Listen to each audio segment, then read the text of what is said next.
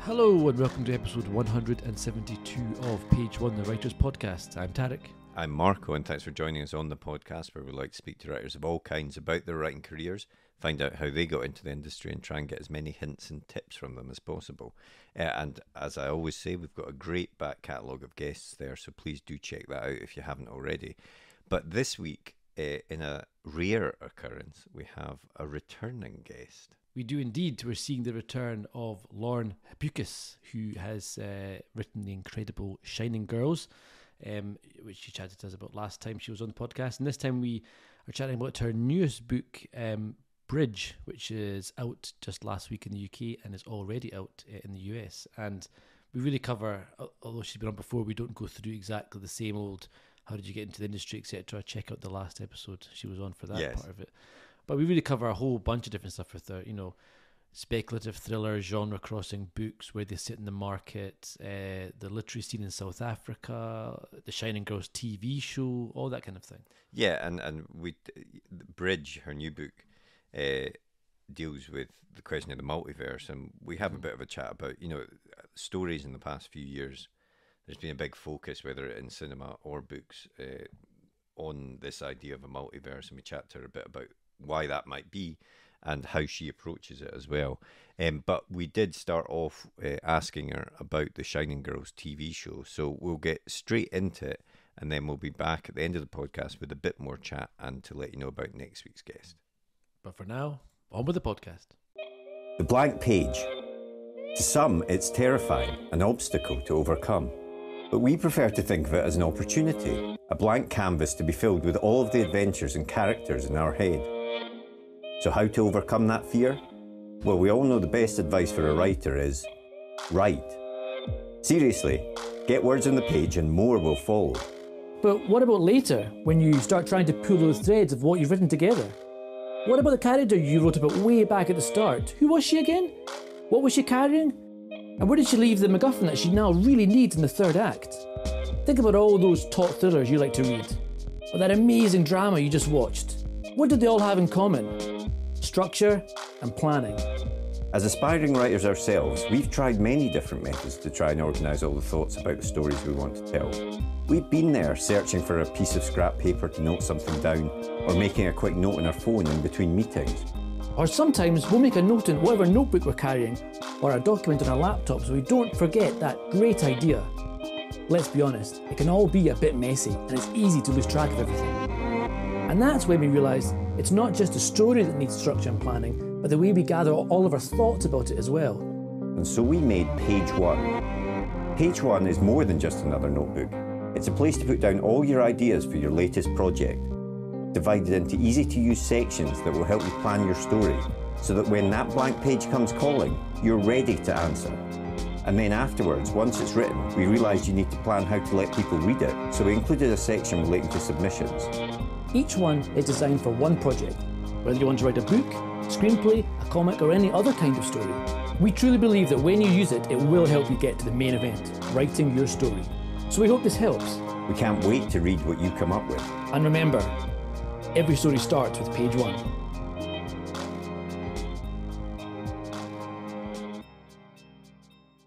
What have you been up to since you were last on the on the podcast? Writing Bridge, but also uh, since we last spoke, um, we had mentioned the Shining Girls TV sh- series was in production, I think, at that point, and now it's come out. So, what were your thoughts on it when when you actually got to see it and everything? Well, yeah, there's a TV show that's come out based on my book. I've moved whole countries. Um, I've got a new book out. It's been quite a quite a time. Survived a pandemic. Um, the Shining Girls TV show was so great, and it's so cool because I don't have to self-deprecate about it because I had no involvement, and it was just incredibly smart, um, a beautiful, nuanced kind of exploration of PTSD and trauma and how dissociative that can be. Um, and then find out that there's a serial killer and that she's not, you know, just imagining this. And um, yeah, there, there are lines of dialogue I wish I'd written. I thought the character of Dan was actually better than the one I wrote. I was a little bit resentful and mad about that. um, but uh, yeah, and like just uh, Elisabeth Moss was incredible. Jamie Bell was like the perfect incel serial killer. Um, and it had the same bloody heart and guts as the book, um, which I just love. I mean, I couldn't have asked for like a better adaptation. Were there scenes in it? I always wonder this when when authors see their own work on screen. Were there scenes that like matched almost uh, exactly what you had in your head when you were when you were writing it?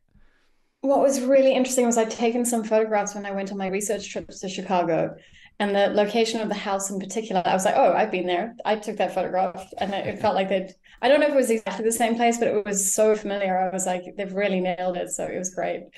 Uh, it was really interesting though because I couldn't read the scripts uh, when they were sending them to me because the time travel in the Shining Girls TV show is much more multiverse, which in the mm-hmm. book it's a closed loop. Um, you know what has been will be. Um, and and of course writing a multiverse novel, and I was like, oh, I just want to be unduly influenced by what they're doing. Um, so it was really okay. interesting to like you know get a first draft of the novel done and then be able to watch the TV show. The timing was impeccable. Well, um, that's what I wanted to ask was was how did you feel when you sit down to actually watch the show? You know, were you were you because it's there must be a nervousness about handing over your baby to other people to do their version of, and you know, you you know, were you scared that they would do a bad job? But what were you thinking when you sat down to watch that first episode? I mean, luckily I'd read the script, so I knew it was good. Um, but of mm-hmm. course, you know, things can go wrong between a really good script and like national TV show. But um, I think it was just, it was really exciting and nerve wracking, and but it was also you know this was a different animal. This wasn't my book. This was something else. And i actually i love collaboration when i'm working with someone who's smarter than i am in a different field uh, you know whether that's writing comics and like you have an artist who just draws things away you couldn't have imagined. And to have this kind of adaptation come out which was so different to the book so resonant with it um, was just really exciting. I did watch it with my then 13 year old daughter which is not appropriate watching for a 13 year old just so you know. Um, but it was so interesting because when she when I wrote the book, the way I dealt with Harper writing Hopper the serial killer was by just hurting him at every opportunity. Um, you know, if there was a chance to fuck him up, I would fuck him up. And when my daughter was watching the show, she would she was doing this fan art of him just getting like wounded and of course he still gets injured a lot which is great yeah. but it was her favorite thing was just drawing him like getting messed up whenever she could and i just felt this incredible moment like mother daughter bonding and how much we loathed this character and wanted to hurt him Had she read the book as well? No, she hasn't. She barely reads, and she definitely doesn't read my stuff. So, okay, yeah, I'm, I'm the mom. not very cool.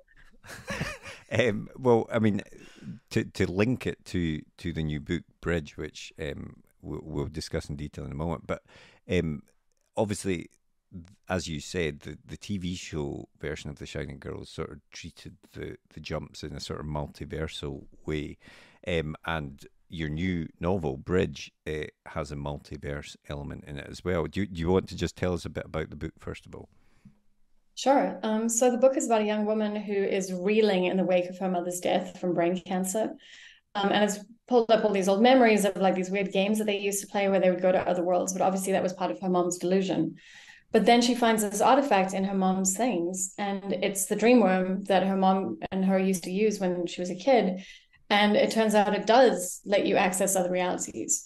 And, you know, and maybe her mom said some very strange things on her deathbed about like you're not my daughter and i just want to go home and maybe maybe that had a much deeper meaning. So she's trying to solve this mystery of like what actually happened to her mother um, and she's going through all the old journals but of course there's also someone else who is also after the dream worm and they're incredibly dangerous and they really really don't want people to be like doing these kind of alternate reality body switches um, for very good reason it turns out if, if you feel like they're quite sympathetic to them but um, yeah so like very sinister psychedelic psychological high concept thriller um, kind of thing nice sounds amazing thanks uh, and and obviously the concept of of the multiverse or alternate reality, but particularly multiverse, if we take that um, expression, is it's been very in now for for a few years. Um, yeah. W- w- why do you think that is? What does it? Is it just the opportunity that it gives to a, writer to to explore lots of different things that, that that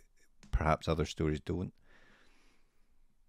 I think for me, what I was interested in was this idea of all these other lives we might have missed out on you know, and I think that's something we can really relate to. You know, I wish I'd gone to university.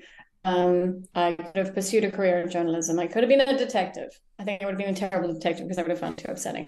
But um, I think I think that we all like think about the things that we've lost, or the opportunities that we've missed, or the bad situations we've stuck around in for far too long. And I feel like that's really something core to the human experience. But also, we already live, and I think maybe this is explains the popularity. I mean, partly it's that you get to go really psychedelic and big and like change everything. And you know, um, what if a spider pig um, or sausage fingers? And that, and that's amazing. That's really exciting. But I think we, I was interested in a much more mundane kind of real life equivalent and compatibility. Um, and I think partly that's because we already live in alternate realities, you know, whether that is socioeconomic or geographical, where the UK and the US had access to vaccines. And in South Africa, the first time we got vaccines was in July 2021, you know, um, or whether that is the reality of someone who is a die-hard Trump supporter or believes that like refugees and asylum seekers should be crammed into a 250 person barge and basically kept in a floating prison with no recreational facilities. And that's okay. And that is the right way to treat people who are fleeing their countries. We, we already have this complete schism in how we experience the world. And I think that is becoming more and more divided. And I think that is something that I was really thinking about is that we already live in alternate realities. They just happen to be layered on top of each other. And, and I suppose even sort of taking that idea further, individuals as well can almost have that different these alternate realities where they have their mundane home life or, or, or, work life or whatever and then you know they can create almost an entirely different persona online Absolutely. and go and, and live on there have friends that they'll never meet but have a different personality and all that sort of thing so you can you i suppose nowadays you can almost live these different different realities at the same time Absolutely. And like be a different person in that. And of course, even just like code switching in normal life, you know, mm. I might swear on your podcast, but I'm not going to swear in front of, you know, someone's granny, um, unless they're a very cool granny and they swore first. Um, but yeah, no, I think there is that that aspect, and I think there is, you know, something I was uh, interested in with with my previous book, Broken Monsters, is who we are online and how mm. that changes.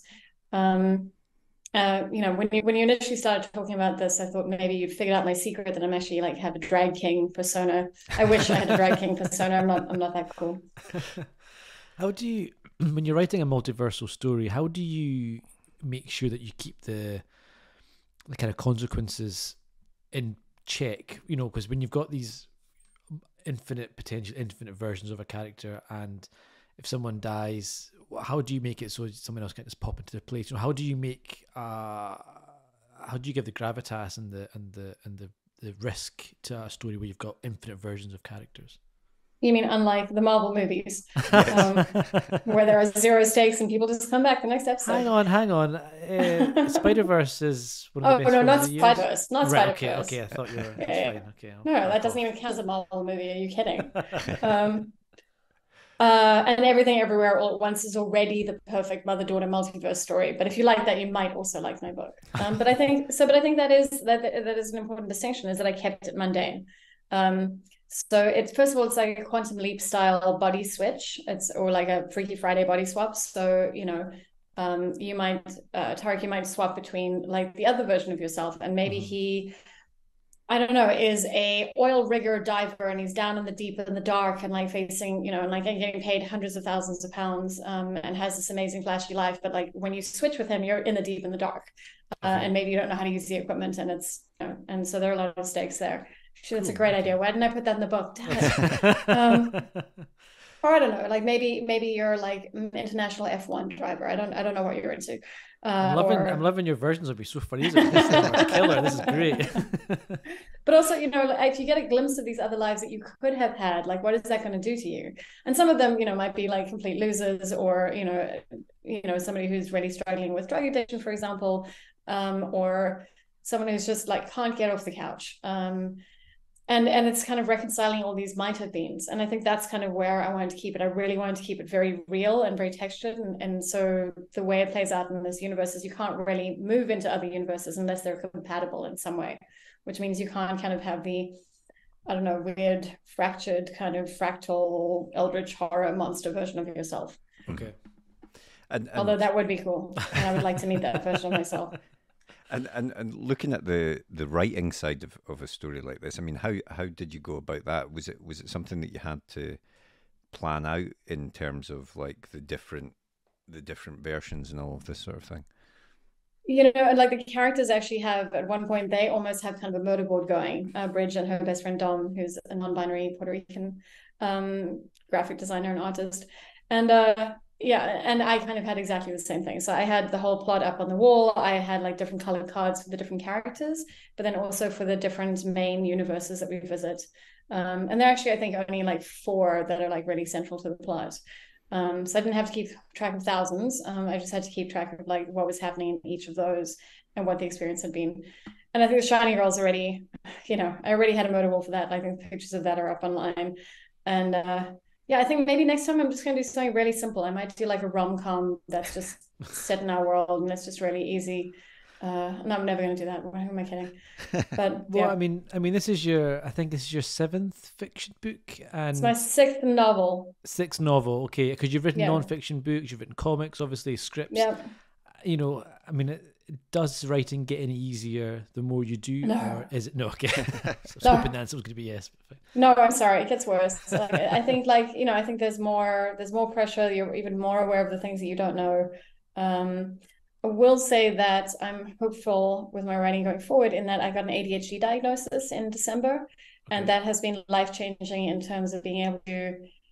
A big part of ADHD is like um, not being able to start things, which I think you know. I think most people relate to, and I think most writers, especially, like you're staring at the page but I'd, I'd want to write and I'd need to write. I had a deadline breathing down my neck and I, I just couldn't do it. And it was it was physically impossible. Um, and since I've been on medication, I think that process has become a lot easier. It's got to do with dopamine and um, right, uh, kind of motivation. Yeah, so it's really interesting. So that has been a life changing thing for me. Oh, cool. Um, yeah. Uh, but also, I think the book kind of speaks. I know everything everywhere all, all at once. One of the Daniels is talking about how it's an ADHD metaphor, and I'm like, all right, I kind of did the same thing without knowing I had ADHD. um, it's funny as a total layman with no eh, knowledge of how ADHD works. I would have almost thought it would be the opposite. In that case, you would have been eh, too, too many ideas and too too much. ex- eh, Oh, oh, did you not notice them all in the page? And but is there just going back to Tarek's question, I suppose, of the you know you, you're an experienced writer now. You've got a lot of, a track record there. Is there when you're writing something that is as layered as this, uh, you know, Yeah. with these different ideas, do you at least have the the confidence that you know you know in those difficult moments which i'm sure you had when you were writing it Yeah. do you have the confidence that you can get to the end of it because you've done it before or was it easier in the past when you sort of were naive and thought well I, i'll just keep going and this will this will get to the end I think I've always struggled to write. I've- You know, I love it, and when I get into flow, it's amazing. Um, I love having written. Um, the actual process of writing, I find very difficult, and um, it's kind of very, very in your head work. I think the writer Jason Arnopp has a great analogy. He says, "Writing isn't hard like being a firefighter is hard. Writing is hard like being on fire." Um, and I really love that. I think that's Mhm. it is you just you're just in kind of like the deep conceptual waters of your head and like trying to figure stuff out and trying to like make things work and fit together. Um, but I also love being out there. It's this kind of subconscious magic where suddenly, as you're writing, something will change and the character will be saying a line of dialogue you had intended. And it's not that you're possessed or that they're alive, it's that brains are magic. And this is where, you know, the big uh, language learning models and like the, you know, plagiarism engines of AI, I I don't think they'll compete because I don't think they'll be able to make those weird connections. Um, you know, of, of the human consciousness, where you're you're bringing in everything that you've experienced and lived and like breathed and read and seen, um, and and of course we're also like all remixing all those influences, but also through the lens of like the actual physical embodied human experience. Mhm. Uh, it's getting very philosophical. Um, yeah, I, I have completely forgotten the question. Well, it, it was it was more, yeah. It, I mean, it, that's a good answer, but it was it was about the sort of having the confidence, you know, Oh, knowing sure. that you know that knowing that you can reach reach the end of, of what can be quite complicated stories to pull together. I have the evidence on my on my you know on my bookshelf. Like here are other books that I've written, and I actually managed to pull that off. Um, so I must be able to do it. It must be physically possible. Um, but I'm very lucky in that I have like an incredible support network. Um, my best friend Sam Beckbessinger is an amazing writer. With this book, my friend Dr. Haley Tomes uh, is a neuroparasitologist, and she read the book, but also taught me all about neuroparasites and um, and, and we sit and we talk about plot stuff together. So I have people I can bounce stuff off. Mm. Um, and then I also work with a development editor, Helen Moffett, who's been with me since Moxyland, my first novel. And she is just like she understands story in such a really complicated, brilliant way. And she really understands who I am and what I'm trying to do. And she'll really push me to that in a way that other people don't. Um, part of the problem is she's had long COVID basically since March 2020. Oh, no. And I was really lucky when the final edits of this book came up that she was actually in a window period where she was able to work. But it was just, it's been so debilitating for her. And it's just so devastating to see someone who's got just this brilliant mind, who's this incredible shepherd of like specifically South African writers and specifically Black South African writers, and to get them out into the world and to shape their stories and how devastated she's been by this. I was going to ask, you know, you the work that you do, you clearly like writing these kind of speculative thrillers, kind of genre crossing stuff, and and and and and it sounds like you've got people that you can talk to, that you bounce ideas off, that you that you kind of eh, work out the path through the story. Because uh, you know how do you keep something like this grounded and not lose readers? Because it's a balance right? You want to have your kind of time travel element but you've also got your character who's a serial killer who's the young girl and this, so you're kind of juggling those two really different ideas in the same work. How does how do you manage that without one or either side of it taking over? I know, I mean it's difficult. And with Bridge it was even more complicated in the Shining Girls because, you know, I've got it's multi characters. So we have things from the, the antagonist perspective, Amber. Um, we have Bridge, we have multiple versions of Bridge that are crossing backwards and forwards between the realities. We have uh, her best friend Dom, who's this just incredibly warm, effusive person who's also had quite a troubled past and um, is is trying to like protect her and make sure that everything's okay. Um, but also has a lot of like questions about the moral complexity of this. And then you have Jo's diaries, her mom. So you know there are already like four major voices, and then the, the other iterations of Bridge. Um, and then kind of trying to keep track of the universes and then I also switch between persons. So it's like it's most of the novel is told in third person. Jo's diaries are in first person, and there's some sections where Bridge is doing these jumps between realities where I wanted to try and get at some of that disassociativeness. And it's actually written in second person. Um, and I was I was I was just waiting for my publisher to come back and be like, absolutely not. But they're like, no, I love it. It really works. Um, so I don't know. I don't know how I pull it off. I think it just it's just gut instinct and kind of forcing my way through and then also having really great editors and and people in my court who like you know, like, oh my God, this is not working. You need to fix this. So, hey, I, I don't know how you did that, but you actually pulled it off. And and when you're switching between sort of uh, POVs and and and uh, perspectives like that, is it is it easy for you to do you know to jump from one to the other to the other, or do you sometimes are you sometimes tempted to say, well, I'm going to continue this aspect of the story because I'm in the flow, or do you just write it in a very linear way and just jump as you're going? I write in a linear way, but I also use Scrivener, which allows you to move chapters right, around okay, yeah. Um, just by clicking and dragging. And also my favorite feature in Scrivener, which I think has saved me so much self-doubt um, and paralysis, is uh, the snapshot feature, where you can take a snapshot of the yeah. chapter and you can have 400 snapshots because you've changed a word. You're like, oh, actually, maybe this would work in, uh, you know, present tense rather than past tense. Or let's take out the cathedral scene. Um, and they're like, oh, no, no, I want the cathedral scene back in. Um, and, and that has been like life saving. I've never tried that. I never. Uh, I love that program, but I've never. It is the best feature because oh. previously, when I wrote in Word, I would have like four million drafts. Yeah. Because you know, I'd be like, oh, I think I'm going to change this character's motivation, and then I'd have to go back five drafts to try and find in the manuscript where it was. So it's it's my absolute favorite feature because it also allows me the confidence to carry on because I know it's still there if I need to go back. Yeah. And you know how many times I go back? Zero. Yeah. Uh-huh. Zero.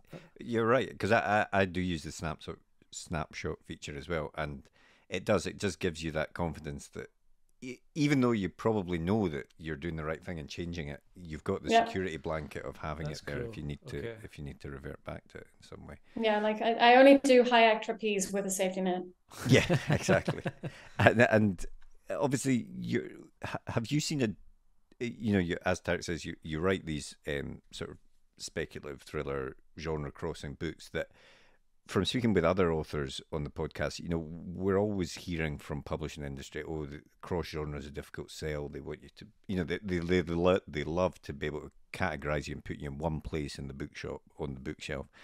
have you seen um, sort of change in attitude at all in terms of more openness to this, or is it just still quite difficult if you're writing this type of story? I think it's quite difficult. I was at uh, the Brookline books, uh, bookstore in Boston. Oh, there's a lot of bees. Brookline bookstore in Boston. And I was chatting with the owner, and he was like, Where do people normally shelve you? Because I, I normally put you in thrillers, but I'm never sure. I'm like, I, I don't know. I think I'm one of the great unshelvables. Um, and I think I think there are a lot of people like that, and I do think I do find the marketing reductive. The same way being a woman writer is reductive, um, or a you know South African writer is reductive. Um, but I also understand that we need to market things, and people need to reach. People need to be able to find things on the shelves. Um, but I don't think that attitude is changing. I think you know I think I would have a very different career in one of my alternate lives if I just stuck to serial killer fiction and just gone hard in that yeah. route. Uh-huh. And and maybe had the same detective and like followed the adventures of Gabby Versado through supernatural Scooby Doo mysteries for the rest of her life and the rest of mine. Um, but I'm I'm not really interested in that. Uh, and partly that's ADHD, where like I'm interested in a new shiny thing, and then fall into a deep dive on that. Um, but partly it's also just I just I would, yeah, I would just get really bored. I want to I want to keep challenging myself. I want to tell stories that that I hope are surprising. I, I, I mean, I do find it's a discussion we've had with with a few of our guests, and I mm-hmm. always find it quite a frustrating discussion because to me there seem and this I suppose I'm only speaking from my own perspective in terms of the types of books that I read and stuff, but it does seem to me that there is a massive audience for books that aren't aren't as easily you know aren't a police procedural book aren't, aren't a serial killer book every week every yep. you know version um but it, there's still the, and I suppose it's true of any aspect of the publishing industry, but it, it, seems to be very slow to change that attitude. That no, no, you have to. This book has to be mar- marketed as this. I mean, I think we had was it um, James Oswald we had on Tarek who mm-hmm, who yeah. writes um, crime books, but they have a supernatural element. But apparently, yeah. when they're marketed, Uh, you know, eh, from reading the back of the book, you wouldn't really know that there's a supernatural element to Which is kind of mental because yeah, people could get through and be like, "What the hell is fucking ghosts yeah, exactly. going on here?" yeah, exactly. So it, yeah, it, it's I don't know. It, it maybe it's a result of the sort of books that I read and the sort of authors that I've spoken to and stuff. But it seems to me that there is a much wider appetite for this sort of thing, and yet if you look online, if you speak to people in the publishing industry, there still is this very, as you say, reductive approach to no, it has to go in this category. You have to be boxed in a very small category. And if you're going to cross genre, well, that's a big risk, you know. That... I mean, I think it is a risk, but I think I, I don't know how to write any other kinds of books. Mm-hmm. Um, so, yeah, you know, I, I but exactly heard what you were saying about um, you know, Broken Monsters was kind of marketed in the UK as kind of a straight thriller, mm. and and I think some people got really mad because they bought it at the airport bookstore, and then they were like, "What the hell is this supernatural nonsense? And why why is this kid's teeth falling out?" I'm like, "Oh, the kid's teeth are falling out because it's a dream, and like that's what happens in dreams." Um, so yeah, um, it's yeah, it is. I think it is frustrating. I, but I, I, don't think it does the audience a good service either. I don't think audiences, yeah, exactly. I don't think they want to be surprised. Like they're in for like a cool police procedural, and then suddenly like there's monsters. Like I didn't sign up for that. Yeah, no, no. And if and if you want, uh, I mean, there's a massive market for as Marco says, for, for people who want books that are kind of like a normal book but with a twist. So maybe there's a AI yeah, totally. element or there's a cyberpunk element or something, but it's a kind of you know old familiar feel with a new twist, but it's and so market it as that and let people know that it is that. Yeah, totally. exactly. It's interesting because I think a lot of like literary and lit, let's be clear, literary is its own genre. Mm-hmm. A lot of mm-hmm. literary authors get to like write in kind of science fiction or horror or yes. you know wherever, yeah, very much so. and but they then don't get shelved in that section. You know, mm-hmm. um, and I am thinking about like you know Margaret Atwood and Kazuo Ishiguro, yep. uh, David yep. Mitchell, uh, Emily St. John Mandel, like they're in the mainstream. They're on the front table. Um, and it's just I I don't know. We just have this very weird idea of what genre is and what's and who's allowed to write to, to write yes. what. Yeah, yeah, that's right. Yeah, like I wonder how do they how do they market someone like Emily St. John Mandel? Then do they market her as? I mean, just a book, just literature. Just a book, yeah. There's, is that, yeah, yeah, yeah you're right. There's not like it's, it's not like in the crime shelf or the sci-fi shelf. It's just yeah, it's a it's weird. I don't. It's a very strange beast marketing. Yeah. What's it like in South Africa then? You know, in terms of the the literary scene. You know, is it is it uh has it changed a lot in your experience since you've been writing? What kind of what kind of stuff does well there, and what you know what what's the what's it like? Well, there has been an explosion of genre writing, which has been really exciting to see. Um, and there've been a bunch of white writers like Charlie Human and Sam Wilson who've been writing like really interesting, fun stuff. But then also like just a, a really strong rise of like really amazing black writers, including Masande Ntshanga, who wrote uh, The Reactive, um, Tanya Jurgens, who's got a fantasy novel out, uh, Dreamer, which I've yet to read, but it sounds amazing. Uh, young white queer writer Alistair Mackay has written an amazing climate change novel. And so it just feels like there's a lot more space for people to tell those stories. Problem is in South Africa is that if you sell a thousand copies, you're a bestseller, mm. and even more so than in the UK. Like it's re- it's almost impossible to make a living from being a novelist. Um, you know, like most of the people I know who are full time novelists generally have either made it in another country, um, as I have in the US and the UK, or you know they have a, a spouse um, or a trust fund or something uh, and that allows them to kind of just do this full time on the side because someone else is paying the mortgage and the cat food and you know all the rest of it. So, so why is um, that? Is that because there's just not a lot of readers? No, so we have. I think the illiteracy rate is forty two percent. Okay. So it's shocking. It's it's really devastating. Um, and only a million people out of a population of about fifty two million buy books. Um, please, wow. you know, like these are not absolute facts. I'm like rem- remembering yeah, stats. Yeah, it's yeah. not, you know don't quote me. Um, but yeah, and and if you're lucky, you get ten rand a book, so you might earn like twenty thousand rand for a book, which is you know a thousand pounds. Um, and even converted into rands, that's just not enough money to live on yeah. at all, especially for a project which takes you a year. Um, there's also, you know, a lot of people. I've had people say to my face, "Oh, you're not like other South African writers. I would never read South African fiction, but I read you." And I'm like, "What the hell are you saying?" It's, so what is that? I, yeah. mean, it, I mean, is there a type of fiction that tend that people tend to write in South Africa? Is it like a kind of local? I think what, what does really well is true crime uh, okay. and nonfiction, mainly about corruption and like government scandals. Um, although my favorite South African literary scene story is that there was a mining magnate called Brett Kebble who tried to whitewash his reputation. He was very corrupt. And he tried to whitewash, whitewash his reputation by first starting an art award with a million rand prize and he ran that for a couple of years, but it didn't work. And everyone knew, you know, the artists were like, I really don't want to be part of this. I know what I'm complicit in, but also it's a million rand. It could change yeah. my whole career. Um, and eventually he realized this wasn't going to cut it and he was going to go down uh, for like, you know, years and years and years. And he organized his own assassination. Um, what? Yep. Uh, and it was Mikey the Killer, and I can't remember the other guy's names, and they got Mikey him down the, the side of the road. Yeah. Nice. And uh, an amazing, uh, an amazing investigative journalist called Mandy Wiener wrote a book called Killing Kebble. And at the Cape Town launch, Mikey the Killer, who was out on parole for having worked with the police, and one of his colleagues came to the book launch, and they were also doing signings. Um, Wait, sorry, I'm just... so confused. did he actually? Was he actually? Did he? Was is he? Is he dead? Is he now dead? He's dead. No, Wait, he, he so was yeah. murdered. He was murdered on the side of the road, and Mikey the killer and one of his compatriots like turned state's witness on the other two guys, and they cooperated with the police, so they got off. Um, and they came to the book signing and signed some books. Wow. And that is the most South African like literature story I so, have. So, so he whitewashed himself by because he's like, well, a bad person would never be killed. Is that is that is that his argument? I, I don't I can't remember the exact specifics. I didn't end up. That is incredible. I also yeah. love the guy called Mikey the Killer. I mean, like not even. I know. I mean, not even trying to hide the fact of what he does. Nominative determinism there. yeah, no, yeah. The guy, poor guy, no, no choice. A name like that. It was just bloody parents.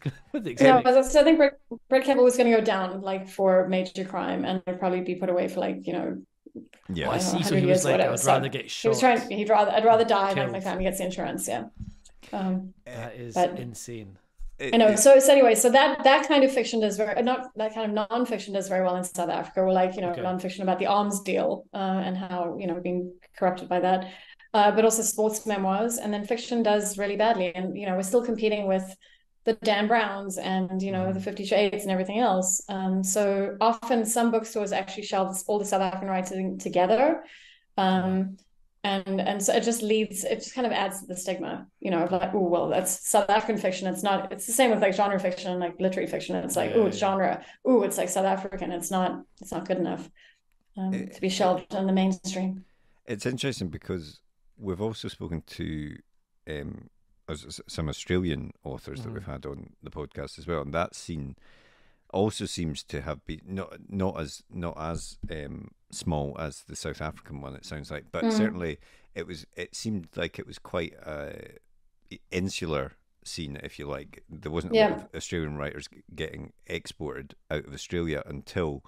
Uh, quite recently, there's there's been sort of the, the sort of great crime writers like Chris Hammer and and, and um, so on that, that have sort of expanded that to a more international audience. And mm-hmm. is are South African writers now getting more well known outside the country as well? Then I think so. Uh, you know, I, I hope that we we are like South African crime writing does pretty well, um, but I think it's also unlike Scandi crime writing. I think maybe Western audiences find it a little bit more uncomfortable because obviously we're going to deal with much more race related issues and mm-hmm. social issues around around apartheid and like the legacy of apartheid.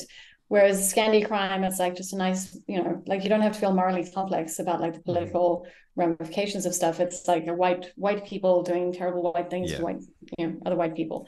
Um, so, and and yeah, like as I said, like there are people like Mohale Mashigo, who's another amazing like genre writer. She's written an incredible book, short stories. She's done some Marvel comics. Um, she's also uh, working on a video game at the moment. You know, so I feel like we are breaking out slowly, and I think there is more recognition and there is more appetite for it.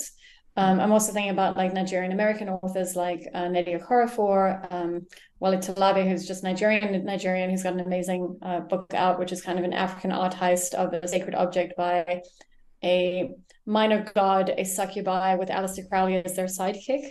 And it's just hella fun. It's like this great heist. It's called Shigidi by Wole Talabi. Um, and then, of course, Rose Thompson, uh, not Rose Thompson, Tade Thompson wrote mm-hmm. Rosewater. Yeah. Uh, and he's a British Nigerian writer who, and he won the Arthur C. Clarke Award. And Rosewater is just this incredibly strange, incredibly specifically Nigerian novel, mm-hmm. um, which just feels so very rooted in like the culture and, um, and, and really fascinating. So I'm hoping that there's more space for books like that. Yeah. I mean, I saw that you'd, um, you'd done a panel recently on, on, on African futurism, and I wondered, you know, this is something which certainly I've sort of on the outside could not have done any reading of it, etc. But I've seen this kind of genre of itself almost coming up, and obviously the the obvious one's Black Panther, but that kind of a story set in Africa where it's not really focused on the poverty. It's more making mm-hmm. it a kind of high tech, futuristic, super advanced, totally different vibe than what you would perhaps normally think of as a kind of African set story. And you know, is this quite what is this quite an interesting new subgenre, or has it been around for ages? And where is it going? I think it's been on for ages, and also like writers living in Africa, you know, in the vast continent of Africa, and one of the many different countries, uh, have been writing those stories for ages. It's just mm-hmm. we haven't been recognized, and it took something like Black Panther to like kind of really bust out. Um, but Black Panther you know, unlike District 9, and District 9 is problematic, uh, especially around depictions of Nigerian people. Mm-hmm. Um, uh, but Black Panther is uh, it is Afrofuturist, and Nnedi Okorafor, who is a Nigerian American writer, says that there's a difference between Afrofuturism and African futurism. Okay. And Mohale Mashigo also has a really beautiful essay about this that Afrofuturism is not for Africans living in Africa, because it is this idea of this magical place. And I completely understand where that's coming from, especially if you've been ripped away from your culture and your community and enslaved and taken across the ocean and kept separate from people, that you would create this kind of mythical homeland. Mm-hmm. Um, and pour all your hopes and dreams of like what that might be into it. But we have cities, you know, like Great Wakanda. It's wonderful that you're this great shining city with skyscrapers and a monorail, but you know what? We have that, um, and it's just African futurism and and writers who are writing from the continent or who have lived in, you know, lived there. Mm-hmm just have a very different understanding, you know, and, and, the kind of social issues and the kind of stories that we want to tell. Um, there's a wonderful new Disney Plus project called Kizazi Moto, and they worked together with 10 uh, African directors from Zimbabwe, from um, Nigeria, from Kenya, South Africa. Uh, I'm sure I'm forgetting some other country, Egypt, um, to create these original stories, which were they were coming from Africa about Africa, as opposed to Black Panther, which is coming from America about Africa. Okay. Um, and I think that's really important, as I think you know the same way the Own Voices campaign has been so monumental in like people, you know, if you're it should be queer people telling queer stories. Mm-hmm. Um, I think that is also that we need Africans telling African stories. And I think that'll be a very, very different perspective. And of course, there will still be social issues. I think we're maybe more attuned to social issues because we've had to like live through them so in such a very raw way. Um, but I think there's also a space for like, you know, like just really fun and ridiculous and over the top and exciting and ways of kind of exploring who we are. Mm-hmm. Definitely. That's really interesting. And um, I wanted to ask you about it's something we've asked a few guests about recently. With uh, you mentioned it earlier, the the sort of the impact of AI on writing. Um, I'm sorry, angry. yes. Well, uh, I mean, we've seen obviously the, the the the the massive rise of this of ChatGPT and, and other sort of LLM models, um, but also now there seems to be springing up certain products that, that, that claim to be helping people to write and things like that. Things like uh, um, so the stuff like Sudowrite and Prosecraft was that another one? Mm, Prosecraft is a big drama this yeah, week. Yeah, that's clo- that yeah. closed down now. That yeah, I think it's shut down. It's already been shut apology. down. But yeah, yeah. except but, he's still selling the software, which is apparently trained on. Oh, oh right, okay, okay, there you go. So I mean, uh, you know, obviously, the the main issue for for for anyone that's that's written something is that these engines are just reading it and then regurgitating essentially what's already there. I mean, what what oh, what is your views on it, and what do you think the the the way forward is with it, given that it is out there, these sorts of things already? I think we need hardcore laws in place as soon as possible. I think the studios need to work with the Writers Guild and actually address these things really seriously. I work in a shared stu- studio space in uh, Dalston in East London, and um, you know a lot of the other people here are animators and illustrators and designers, and we've been talking about it for months. So like my work has dried up, and it's because people are using you know not the writing software obviously, but like the the illustration and design software. Um, I think for me, there are a couple of things. One is that the writing is incredibly mediocre. Yeah. Um, I remember when I was teaching journalism at the University of Cape Town, I could help the good students and I could help the bad students. But there were some people where sentence was fine. It was perfectly fine. And it was so dead on the page. And I, I just didn't even know how to like help them with it. Um, and ChatGPT feels like that. I just feel like it's just this dead, horrible thing. Um, and and it uses it tries to use emotive language, but it's so cliche and broken. Um, yeah. So you know, on a personal level, I just find it offensively mediocre. Um, but it also, you know, I came up as a journalist, and the kinds of way I was able to pay my rent was I did articles that would 100% be written by by AI today. And AI is definitely a misnomer. I hate I hate that way we yeah. talk about it. Um, because you know I, I, would I would get to do really cool investigative journalism stories. So I would get to do things like um, go and hang out in the informal settlements and talk to people about food for Colors magazine, and we do kind of really cool investigative stories. Or I'd spend two weeks hanging out with sex workers from like various different strata within Cape Town, from people working on the street who are like unhoused through to people working at the very high end brothels, and kind of get their perspectives and their stories but that didn't pay my rent. What paid my rent was writing the the story on best small conference venues in the Western Cape for Business Magazine, you know, and and that is how I lived, and that I that is how I was able to pursue a career yeah. in writing and be able to learn how to write and be able to do these other stories, which taught me investigative skills, that taught me voice, that taught me dialogue.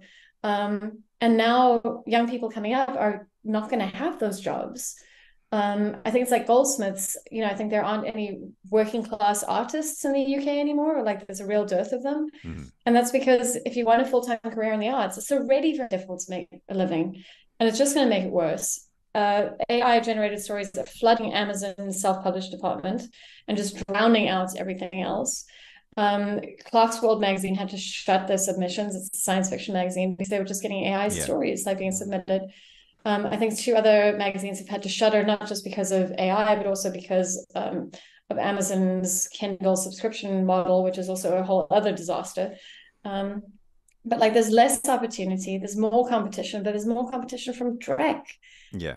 And I think the big problem is that a lot of audiences don't care. And I think especially if we're looking at screenwriting, you know, a Marvel movie is really formulaic, a Hallmark movie is very formulaic. Like you know, here's the three act structure. Can you hit these beats? And then you hire a writer to come in and pump it up. And I just I just don't think audiences will care for all the successions and the Squid Games and the Better Call Sauls and BoJack Horseman's in the world.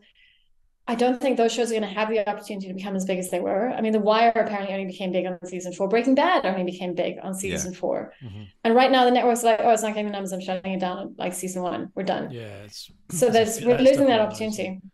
I mean, and I think a lot of people, sorry, I think a lot of people are using TV as a background noise. You know, like they're cooking and they're like watching old episodes of Friends. And Friends, yeah. it's not my thing, but it's fine. At least it had writers. But I think it's just going to become just really much more generic and banal and dead.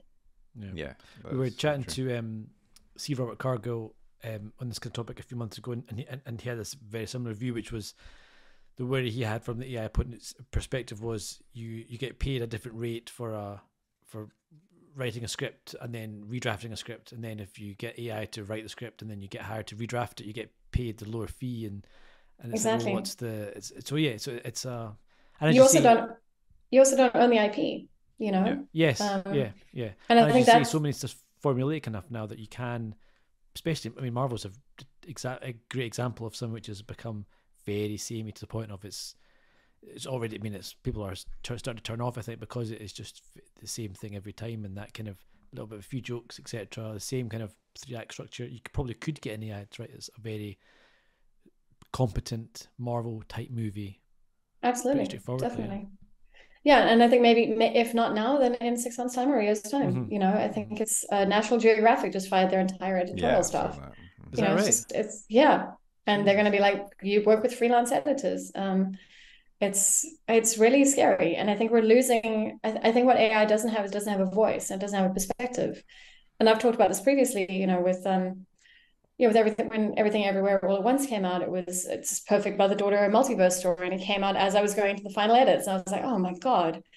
And when Oryx and Crake came out, I was writing my first novel, Moxyland, and it nearly put me off writing. I was like, well, what's the point? She's already done it. But what I had to offer that is different to those other things is my own personal voice. Yeah. yeah. Um, but we need to value that. We need people need to be able to make a living. People need to be able to like you know there are very few writers who are fabulously wealthy mm-hmm. uh, i'm lucky in that i am able to like make a full-time living this um, but it's it's just wild and, and especially especially after lockdown and and, and we were all surviving on content and like books and like audiobooks and and and tv for that now to be oh well what's the point of that it's i mean i mean it's not really surprising seeing we devalue our medical staff and our nurses and our essential workers as well. Like, you know, as soon as it's not convenient, of course, we're going to toss that aside. Um, but I do think I think art and storytelling is it's it's so important to being human and understanding who we are. Um, and also and also sometimes the relief from being a human because you can just fall into somebody else's story and not have to deal with your own life. Yeah, no, absolutely. And I, I don't know, I, I, I still it's perhaps naive hope, but I still hope because you, as you say, that, that, that what it can output is so incredibly mediocre that um, I would hope that that there is some. I, I know what you mean about the general public not maybe caring that much, but if they're con- constantly given what is pretty much drivel, then hopefully they would start to want something more original. But who knows? Who knows? I mean, um, I mean, we might get to the point now right where you go up to chat gpt or a similar service and you say right i want a, I want a new book and you say give me a book about spies set in the 50s with me as the main character and you know a train chase at the end well they'll do that with a film as well probably. or a film yeah, yeah and i'll put together but me and brad pitt on a train having a fight yeah. you know make it for you and you get to everyone watches their own personally curated content you know eh, it's a yeah you know Pretty, pretty they could also they could also scan your face in, so you could actually be in the movie. I know? mean, so that's like... quite cool. I, I do like the idea of me being fighting Brad Pitt in a train. I'll be honest, I, that part of sure. like, but you know, the wider picture, I get it. Yeah, yeah. But, you know. I think my problem is that the I think we're going to see the same thing as it's happened in fashion with like fast fashion, for mm-hmm. example, and the shadification. Yeah. You know, people don't care that like their cheap clothes are being made in the most horrendous conditions and that people are being starved out of a livelihood and that it's affecting other people's ability to like make and sell clothes that where they're paying their you know people responsibly um, or they're caring about the environmental impact. Like people don't care. They they just like new fashion item. Um, and and it's disposable and that's perfect because then they can buy the next week's hot new fashion item next week. And I think my my great fear is that books written by humans and art made by humans will go the way of a bespoke tailor. You know, and I don't know about you guys, but I don't own a bespoke suit. I just don't. No, I also I also don't buy Shein. So you know, but uh, No, I know, I know. Well, I, I do. Yeah, I'm not sure where we leave this, other than being very, very depressed about what's going to should happen. we all just pee to be assassinated? Just yeah, yeah, no, Well, perfect, totally. I'll yeah. see. I'll, I'll I'll see if I can get hold of Mikey the Killer. that would be great. yeah. call, call up Mikey. Um, uh, let's let's try and end on a slightly more positive note. So, um, Bridge is uh, coming out very very soon as as we record this episode. Um, but what is next in the in the pipeline? Uh, I have an original horror TV show that I'm writing with two of my best friends, uh, Dale Halvorsen and Sam Beckbessinger. It's called This Book Will Find You. It's currently on hold because of the Writers Guild strike. So I hope the studios come to the table and like actually negotiate and give people the very basic minimums that they're asking for. Um, Nice. And then I'm- what's it about? What's the? Are you, are you able to say what it's about, or is it? I, I don't I don't want to tell you what it's Oh, about, but um uh, yeah, it's um it's a kind of a supernatural horror about a relationship um and something you know and a and a haunted book which appears Oh, and nice. causes all kinds of strife. Um, yeah, I, it's I, I'm pretty excited about it. And then I started thinking about my new novel, um, but I can't tell anything about that either. I'm so sorry. Uh, it's, just- it's it's it's in the very nascent phases. It's like a tiny little seedling, and it's just fragile enough that if I talk about it too much, I might kill it. Okay. Um, yeah. Cool.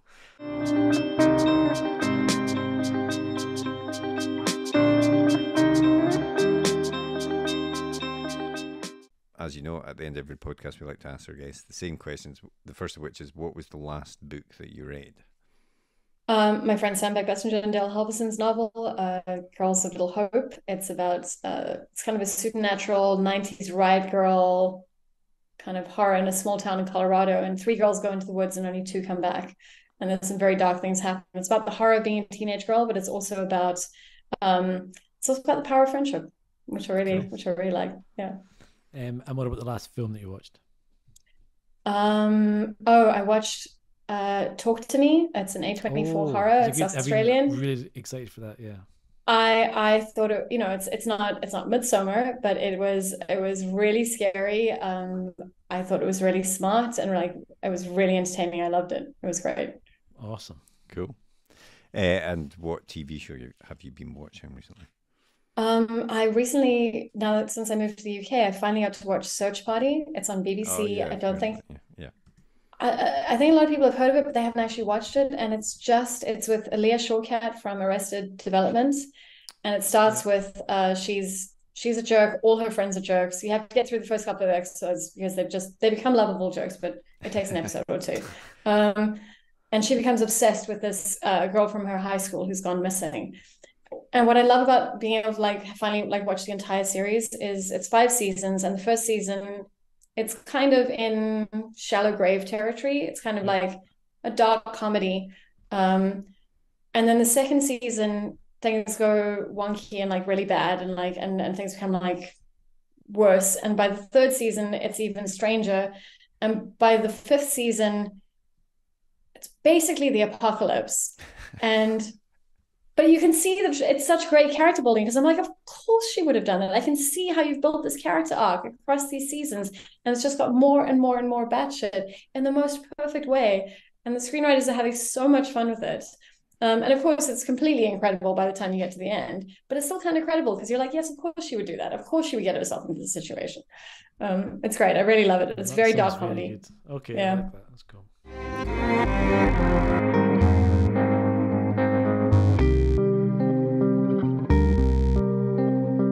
Well, thanks very much to Lauren for coming on, and uh, that's the, she's the second guest in, in the past few weeks to recommend Search Party. So I know. I know. I need to give that a watch. yeah, need to need to search that one out on iPlayer. I had it on the end of my embarrassingly long list of TV shows, which I will eventually get to one day. Yes, exactly, exactly. Um, but yeah, I thought it was a really interesting chat. Obviously, covering quite a lot of topics there. I, I particularly enjoyed the story about Mikey the killer becoming a celebrity for killing a so man that my head round. Yeah, I know it was Yeah, bizarre. So the guy actually put a hit on himself and he's now dead. Like Yeah. I've just, it's just, it's like a Coen, Coen, Coen Brothers it is movie. sort of, you yeah, know, yeah. it's w- like a kind of Fargo, that kind of farce, yeah. black comedy. almost. It's just, uh, It's bizarre. Yeah, yeah, very bizarre. strange. But um, yeah, you can you can pick up Bridge uh, now, so recommend you go and do that. And thanks again to Lauren for coming on to the podcast. And as we said to her, um, off the recording, we always love to have her back on the podcast because she's always good fun. Um, and next week we've got another great guest. Yeah, next week we're chatting with the wonderful Mark Edwards, who uh, has written, oh, I mean, a book a year since 2011, I think, pretty much. Uh, more than a couple of years, he's done two books, and he's he's a Amazon uh, Thomas and Mercer writer, so kind of ebook focus, and and a really interesting way into the genre through the kind of Kindle Unlimited, the Kindle Store, self-publishing stuff. Uh, Four And I'm- and I'm- copies sold. four million. I mean, he's huge. Yep. He's huge, and um, and and he really it took him a while to to get in there, and it was a lot of setbacks. Um, a, a very interesting journey in, I think. Yeah, definitely. So yeah, we, we highly recommend tuning in for that one. If you've enjoyed today's episode, please do take the time to rate and review us on Apple Podcasts or your favorite podcast app, as that helps us to continue to get great guests on the podcast. And if you want to get in touch, you can always reach us by our email address, which is podcast at writegear.co.uk, or send us a social media message of any kind. We're on all of them. Uh, and you can get in touch with us by searching for at UK page one, except for uh, Mastodon, which is, uh, hang on, I've got it here writing.exchange forward slash at page one pod. Does anyone And there's one more Mastodon? which I'm missing. No, I don't think so. we do have, we have a lot of followers at Mastodon. To be fair, I'm looking at it just now, but Yeah, no, but it, it, it doesn't. Who knows? It, unfortunately, it does seem like Twitter is still, the, or X. I know sorry, X, X, sorry, it, yeah, it's yeah. still it's still the main place people go. I, I'm I'm a fan of Bluesky. Bluesky is the one everyone keeps. I think I, I think until X completely implodes and is physically unable to be accessed, it'll probably people need that kind of force, don't they? It's- Exactly. I'm I'm lazy. I, I can't be setting up another social media. No, no, account. uh, neither can I really. um, it's enough managing twenty Twelve. UK UK page one. Um, but yeah, thanks for tuning in this week, and we will be back next week. So have a great week. See you later. Well, I hope you enjoyed that episode. If you did, please leave a comment down below, hit that thumbs up button, and be sure to hit that subscribe button as well so you never miss an episode like these ones below. And if you want to get in touch, you can always drop us a tweet in the Twitter machine, which is at UK Page One, as evidenced here, and our other social media channels are available. Otherwise, we hope to see you next episode. See you later.